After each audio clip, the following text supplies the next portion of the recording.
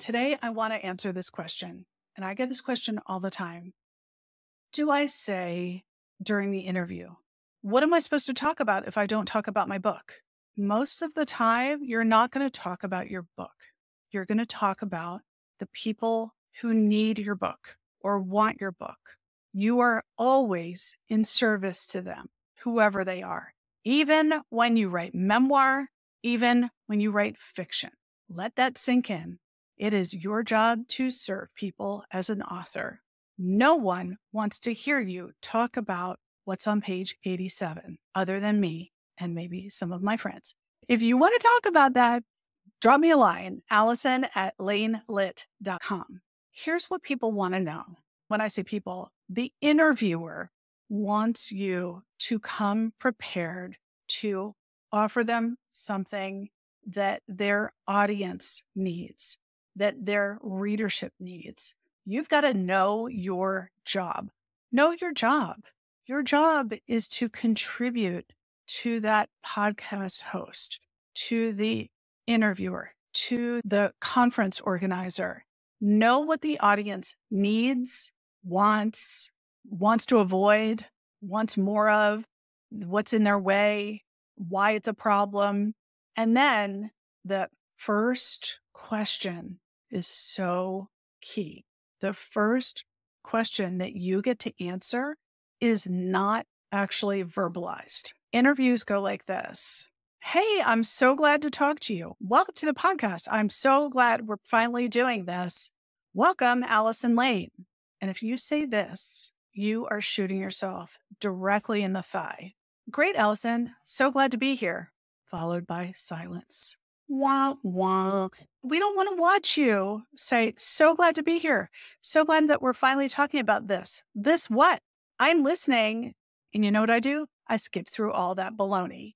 I skip through the, hi, how are you doing? It's been so long since we talked. Woof. I'm not interested in that.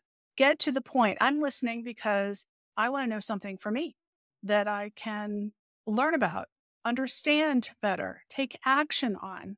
And that's what your audience or your interviewer's audience wants as well. So here's how you answer that question, which is really please start talking. Welcome. I'm so glad we're here. Is really please start talking about and address my audience with why you're here. And P.S., it's not to talk about your book. So here's how you can trans that in your head. Hi, Allison. I'm so glad we're finally doing this. Welcome to the podcast. And I would say, the old me would say to myself, Thanks, Alice. Thanks for having me. No, please don't do that. Thanks for having me is not the answer. So glad to contribute to your article is not the answer because you're essentially slamming a door in that person's face, and the listener and the reader then gets nothing, no value you are putting words into the universe that don't matter. Don't do that. Nail your interview by saying, again, let's role play. I'll be the interviewer and the interviewee.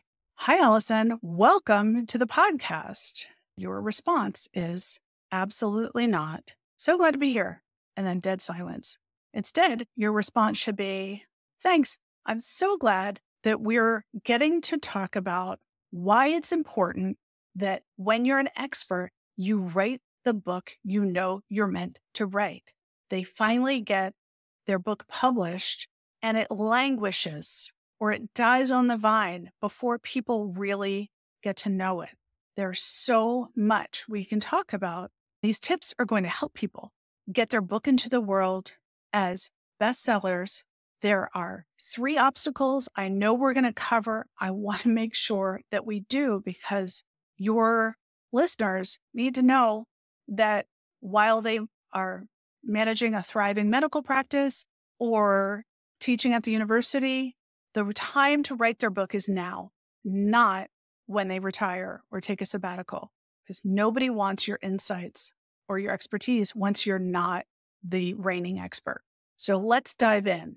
That's how you kick off. You know why you're there you know who your audience is. Even if you're being interviewed by the Washington Post or the reporter is interested and has a point. They'll sometimes tell you, I'm writing an article about the financial effects of COVID on city planning and road work. You'll know it's not a surprise. They didn't ambush you. It's your job to know why you're there, what value you contribute to the podcast host and the reporter, and knowing that you are now their partner in serving their audience. So it is your job to understand what they need and to know that you are not being interviewed because you're you. You're being interviewed because you serve an audience. You are a spokesperson for the themes in your book, and you are an advocate for the people who need the insights and perspective in your book. Show up for every interview knowing that you're going to kick it off as soon as somebody says, Glad we're finally doing this. Go ahead and start the conversation. So glad we're doing this because people need to know, or too many people believe, or it's so hard to figure out, whatever it is, define the problem, the desire, who it's for, and take control because that's your job. More times than not, the interviewer and the podcast host are going to turn to you and be like, oh, great. Thank, you know, they're thinking, thank heavens you help frame again what we're talking about because you're not at a party. They're not just chit chatting to you because they are so interested in your book. They are serving a purpose and you are now their partner. Now for the buzzworthy book Growing Up in Public. This is coming of age in a digital world. Listen, it's September, it's back to school. My kids are back in school, and already they're communicating once again, more than over the summer, with their friends, keeping up with things through social, through Snapchat, through whatever. Devorah Heitner is an expert at educating children and parents and teachers and all the other experts out there on how to have conversations with parents and teachers and PTAs. She speaks all year long. It's so good and such a fast read because it's filled with stories and real examples of all sorts so that you can have a conversation with your 13 year old or your 16 year old or your seven year old who thinks that they need a phone. P.S. They don't. That's a spoiler. The seven year old does not need a phone. This is such a, a great blurb from Rosalind Wiseman, who wrote Queen Bees and Wannabes. That was a New York Times bestseller. Heitner translates teens' social and technological landscape for parents so they can help their children thrive.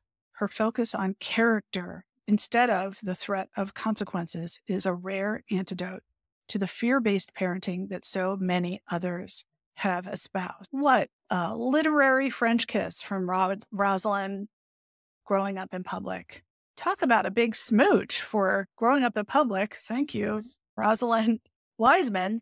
Devorah's work was once again quoted in national media, giving context to what conversations parents need to have and with and giving them options. It's not one and done for all.